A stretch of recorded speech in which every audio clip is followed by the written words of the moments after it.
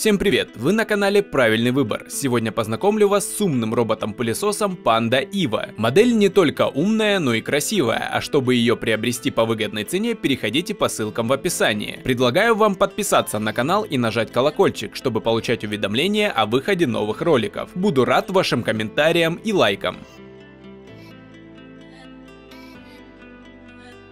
Современный робот-пылесос с качественной слэм-навигацией, влажной уборкой и управлением со смартфона. Говорит по-русски и строит карту помещения, а мощность можно регулировать в трех режимах. Panda Eva выделяется дизайном среди других роботов. На лицевой панели под стеклом изображен 3D-орнамент, который добавляет шарма помощнику. Смотрится эффективно и стильно. В остальном корпус изготовлен из черного глянцевого пластика. Размеры 320 на 76 мм. Робот низкий будет без труда проезжать под мебелью для уборки в труднодоступных местах. Бесщеточный мотор способен работать в трех режимах интенсивности. Доступный диапазон мощности составляет 1500-2150 паскаль. Регулируйте силу всасывания с пульта или мобильного приложения в зависимости от задач. Робот-пылесос оснащен съемным баком для жидкости объемом 180 мл.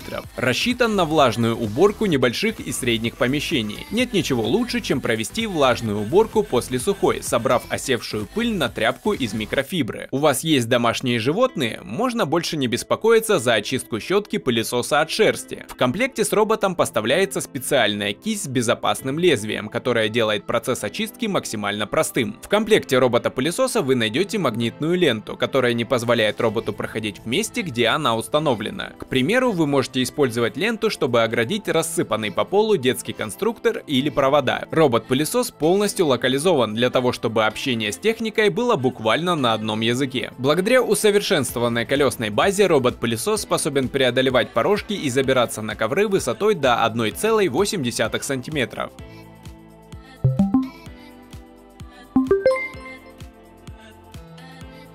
Проанализировав отзывы, я выделил основные негативные и позитивные моменты. Сейчас поделюсь с вами, начну с отрицательных. С трудом забирается даже на невысокий ковер. Застревает в шторах даже на небольших задирах ковра. Во время влажной уборки при развороте и наезде на препятствие может потерять бак с водой. Не хранит карту квартиры после уборки, ищет базу методом наугад. Находясь на базе, периодически ее же теряет. Нужно часто чистить. Громкость динамика не регулируется. По факту два режима всасывания.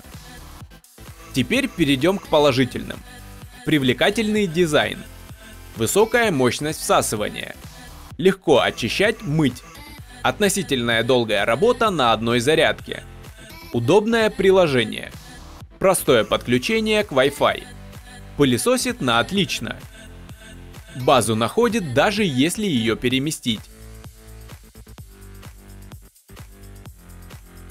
Как вам знакомство с такой моделью? Хотели бы приобрести? Напоминаю, что ссылки на полные характеристики и выгодные цены оставлю в описании под видео. Расскажите ваши впечатления в комментариях и не забудьте поставить лайк. Чтобы не пропустить новый обзор, подписывайтесь на канал и нажимайте колокольчик. До скорой встречи на канале Правильный Выбор.